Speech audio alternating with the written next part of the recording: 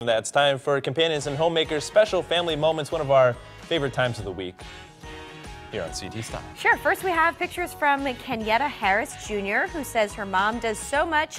She never complains about it. She always has a smile on and a pretty sharp hat, too. Oh, little cheetah hat there. Sassy. Next, we have Doreen Lucas. She says, My mom is an amazing woman who is warm and caring and down to earth and has conditionally, unconditionally loved for her entire family. Now, Maria Senicola submitted the next picture from her family's Wednesday night dinner.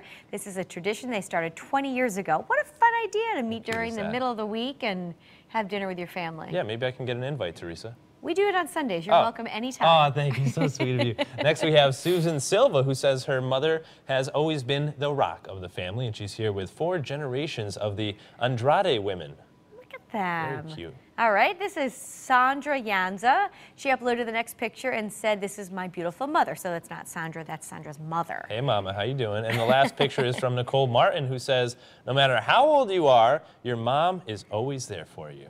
Isn't that the truth? Mm. And we want to thank all of you who uploaded pictures for Companion and Homemaker Special Family Moments. We will continue to show your pictures on Wednesdays, so keep sending them. We like having them.